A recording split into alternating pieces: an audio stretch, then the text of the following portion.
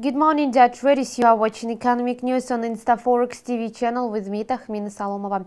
The US dollar paid losses against a basket of major currencies after the labor market printed better than expected statistics. Investors showed positive sentiment even despite weak new home sales data. Besides, the US dollar was still trading under pressure while the market was expecting the UK's EU referendum results to be declared. By the end of deals, the US dollar index was at 93.42.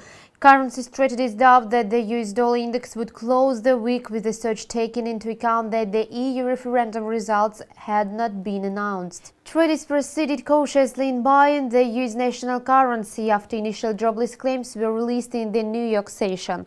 The number of unemployment filing for state benefits fell to lowest level since April. A few days ago, the Federal Reserve Chairwoman Janet Yellen said in a speech that the US labor market appeared to have slowed more recently. Meanwhile, initial claims for unemployment benefits published yesterday showed just the opposite. According to an official report from the US Labor Department, initial jobless claims dropped by 18,000 to seasonally adjusted 259,000 for the week ended June 18.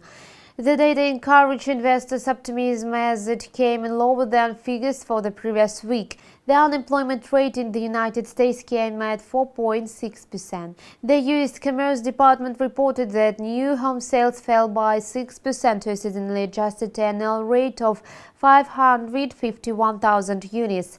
Analysts had expected a bigger decline. The U.S. dollar was trading higher in early New York deals as soon as the U.S. macroeconomic reports were published.